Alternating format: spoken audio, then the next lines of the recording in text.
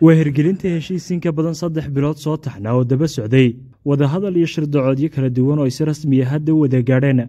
Aqoon-yahanka waxgaradka odayaasha coqaasha siyaasiyiinta iyo badiba labeynta dadka dega deegaanada bulaxaar wadamakahayle ilaa lafgalooli iyo madaxda urur siyaasideedka rajo kaas oo ka dhacay magaalada hargeysa ee caasimadda deegaanada somalilan madasha kulanka iyo heshiiska labada dhinac ayaa waxaa ka hadlay qaar ka mid a aqoon-yahanka waxgaradka odayaasha coqaasha iyo siyaasiyiinta. Dadka dega deegaanada bulaxaar wadamakahayle ilaa afgalooli iyo madaxda urur siyaasideedka rajo ee ka qayb galay kulankaasi kuwaasoo iftiimiyey ujeedka heshiiskan is-afgarad ee dhex maray labada dhinac.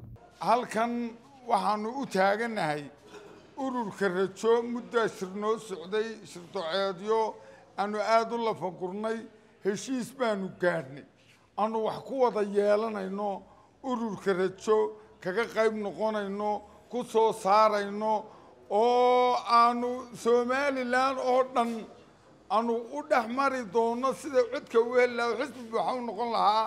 Taasi waa qodobka koowaad aanu ku heshiinay. Haddaad odhan lahaydeen rajo maxaa ku doorateen horta magacu waa rajo wanaagsan. Magaca koow. Maga qodobka labaad siyaasiga hogaaminaya waa siyaasi aan lahayn nabaro siyaasadeed. Nabaro dhaawacyo siyaasadeed. Aanay ku oolin oo somalilan dara. Somalilan kuna dhaataa qof kastaana markhaati buu iga yaa midiyaha ka arkay.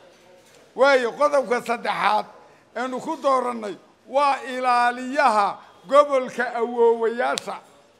Ilaaliyaha gobolka awoowayaasha dadka somalilan ka soo jeeda ee xuduuddeeda ku jira oo dhan jabuuti etoobiya intaasi waa gobolkay xuduudooda ku aasnayd.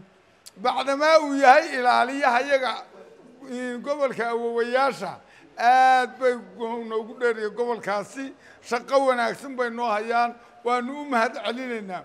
Annagu dee fadal dheer baan noqono galbeed baanu soo yacnee. Qoladana aad baan deegaankaana ugu mahad celinaya markaanu ururada qiimaynay markaanu dhex marnay markaanu dadka ku jira eegnay waxaanu qaadanay ururka rajo. Waxaanu ku raacnay waxaanu ku raacnay siyaasiga iyo inta ku jirtoo dhammi. Weli wax siyaasad iyo dawlad xil soo qabtay male cid soo cadhooto urur ka soo cadhootay male cadho ururtay kuma jirto. Waa waa dad tirsan dhallinyaraa dabeedna ilbaxa mutacalimiina caafimaad qaba. Ta kale waxaanu ku doorannay ururka rejo isagoo bilowa oo urura difaaca somalilan afrila taxba ka hadla haddaanu makaayile saaqna saxaaq sacaadnahay waxaanu ku raacnay arrinkaa gobollada somalilan o dhan gaar ahaan gobollada galbeedka. Reerka koowaad ee sacad muuse hagaanu nahay waanu taageeraynaa sacad muuse kale waanu ku taageeraynaa meel walbana waanu ka taageeraynaa waxaa kale oonu la hadlaynaa gobollada bariga gaar ahaan oodweyne burco ceerigaabo annagu haddaanu nahay gobollada galbeedka ururka rajo waanu soo saaraynaa waanu iskugu tegaynaa codka iyaga waanu ku soo saaraynaa. Codkiina ha nagala dahin in nagala soo saara waxaanu codkayaga ku caawinayno onu siinay oonu heshiis ku gaadhno oonu wax kula yeelannay. Ururka rajo. Oo aanu ku raacnay maanta guddoomiyaha cabdilaahi dahab amase dheeman oo qoladii iga horreysay bixisay. Waa nin qaaliya oo bilaa maanta aan qabyaalad lahayn oo dadka isku haya oo difaaca dalka u taagan oo ka hadla afar iyo labaatanka saacadood. Waxaanu leenahay beelaha bariga ee uu ka soo jeedaana sidii qolada horeba sheegtay. Sidaa ha soo saaraan. Diyaar baananu u nahay. Inaanu soo saarro insha allah. Muddo saddex biloodana wada hadalkani wuu soo socday. Sharaf baanay noo tahay. Maanta inaan soo gaadhno stage aan taagannahay inaan isfahanno oo is-afgaradkaasina uu noqdo mid midhodhala oo ay taageero buuxdo siin doonaan. Codkooda ay ku taageeri doonaan insha allahu ururka rajo. Guddoomiye waa beeshan ugu faca weyn ugu deegaanka ballaadhan galbeedka markaad aad la eego. Waxaanu leenahay soo dhowaada. Horena waynu nii soo dhoweynay. Waa beel sharfan waa beel ku sifowday xulashada. Waxaanu aad ugu mahadnaqaynaa sida fiican ay ururkan rajo aad u soo xulateen aad baynu ugu mahadnaqaynaa. Soo dhowaadaynu leenahay dadku dadku waa inay qiimeeyaan. Odayaasha allan ka hadlaayey run ahaantii kelmado qiimo leh ayay ku hadleen. Oo ah ururkaa rajo waa urur ka lahaatay ee bilaa qabyaaladda waa urur ka lahaata een aan marnaba laga arki karin. Inankoole beeshii ree hebel amba maxaa la dhahdaa ururada kaleo dhan waxaad ka arki kartaa iyagoo kule waxaanu soo dhoweynaa beeshii ree hebel beela oo dad ummaddii kala qayqaybinaya annagu waxaanu naga iibinaynaa aragti fayow oo caafimaad qabta iyaad naga iibsateen. Iniguna aqligii maskaxdiinni markaad dib u siisheen waxaad ku soo saarteen aragti fayow iyo maska caafimaad qabta inaad nagu taageerteen. Aad baad u mahadsantihiin soo dhowaada soo dhowaada. Ugu dambayntii waxaa madasha ka hadlay guddoomiyaha horu siyaasadeedka rajo cabdilaahi dahaba kaasoo geestiisa isdultaagay muhiimadda heshiiskani iyo kulankani leeyahay. Inkastoo si waafiya u iftiimiyey sababaha keenaya ee reer somalilan ay doortaan urur siyaasadeedka rajo uu ku tilmaamay inuu yahay laga maarmaanka helidda somalilan oo qurxoon la wada leeyahay sugan oo xasiloon.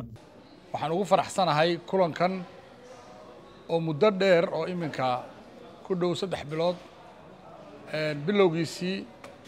Inkastoo maalmihii ugu dambeeyey uu aada u badnaa kulammadu ay badnaayeen maanta soo gebagaboobay oo halkaa aanu ku heshiinay heshiiskaa qodobaysan ee deegaankaa ballaadhan ee laga sheekeeyey dadka dega arrimahooda siyaasadda khuseeya deegaankooda khuseeya baahidooda khuseeya. In ururka rajo uu noqdo ka koowaad ee arrimaha ku dagaalama ee fuliya hadduu ilahay yidhaahdo. Ayaanu deegaankaa kula heshiinay horumarkooda nabadgelyadooda waxbarashadooda caafimaadkooda wax walbo ay wax ku noqonayaan baanu la garab taagannahay sidaa aan muwaadiniinta kale somalilan u ilaalinayno si gaara iyaga waxa taabanaya gaadh baanu ka haynaynaa maadaama ay naga xusheen siyaasiyiintii kale iyo ururadii kale.